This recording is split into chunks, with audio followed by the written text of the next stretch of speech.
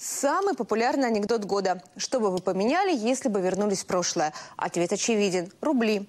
Несмотря на то, что экономисты прогнозировали кризис еще год назад, падение национальной валюты стало для большинства россиян шоком. Рубль ушел в штопор буквально за месяц. Эксперты называют разные причины. От западных санкций до валютных спекуляций на рынке. И прогнозы дают тоже разные. Как поведет себя рубль в 2015 не может сказать никто. Если вы поделите стоимость барреля нефти э, марки «Уралс», вот, э, вот у вас и будет курс. Поэтому здесь никаких особых хитростей не надо. Другое дело, что колебания были, они были связаны еще со спекулятивным характером. До тех пор, пока не решена основная политическая проблема с э, связи с Западом экономическим и доступ к рынку капитала на Западе, рубль будет потихоньку слабеть. Ключевой ставкой тот э, спекулятивный курс доллара и рубля – Таким моментом, конечно, не остановить. Это э, очень отрицательно, конечно, сказалось именно на производстве. Я считаю, что ситуация не находится под контролем,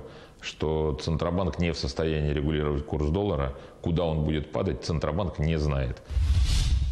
Для промышленников и чиновников словом года стало импортозамещение. Из-за взаимных санкций страна лишилась множества товаров. От пармезана до оборудования для газодобычи. И президент и правительство обнадеживают. Мы все можем с вами. Правда, условий для самостоятельной работы пока не хватает. Ставка сделана на импортозамещение.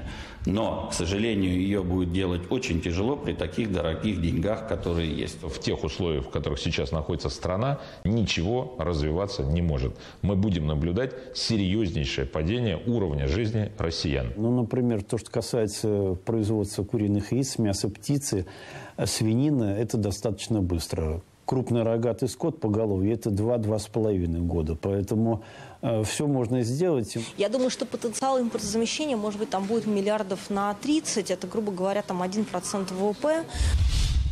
Поддержать производство могли бы дешевые кредиты. Однако государство только повышает ключевую ставку, от которой отчитывают ставки и все банки страны. Чиновники, похоже, не могут определиться, кого спасать в первую очередь – бизнес, банки или падающий рубль.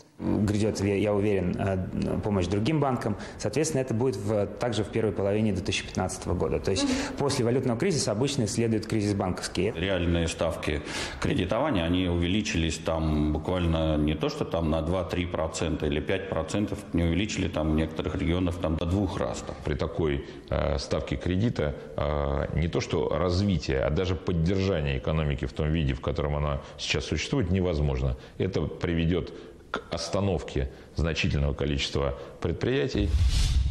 Что будет с рублем и со всеми нами, зависит от многих факторов. Геополитической ситуации, стоимости нефти, отношений с Европой и США. Единственное, о чем говорят буквально все, надо научиться жить скромнее.